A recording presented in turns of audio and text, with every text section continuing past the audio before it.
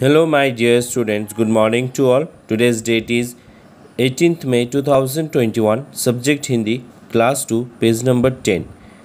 मेरे प्यारे बच्चों आज हम लोग दो वर्ण वाले शब्द को पढ़ेंगे ठीक है यहाँ पे देखिए क्या लिखा गया है दो वर्ण वाले शब्द पढ़िए समझिए और लिखिए आपको यहाँ पे पढ़ना है इसे समझना है और लिखना है ठीक है जैसे देखिए क्या क्या दो वर्ण वाले शब्द हैं पल अपल चल अचल नल अनल कल अकल जल अजल तल अतल बल अबल हल हल ठीक है? तो यहाँ पे क्या क्या दो वर्ण वाले शब्द हैं?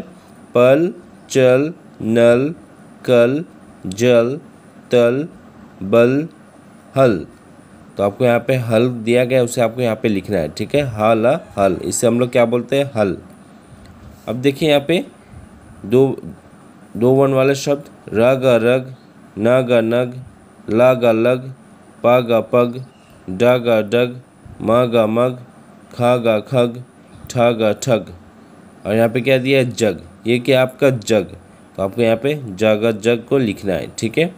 अब देखिए यहाँ पे फिर से ता का तक हा का हक था का थक ठा का ठक पा का पक, तलबेशा का शक ढा का ढक बा का बक।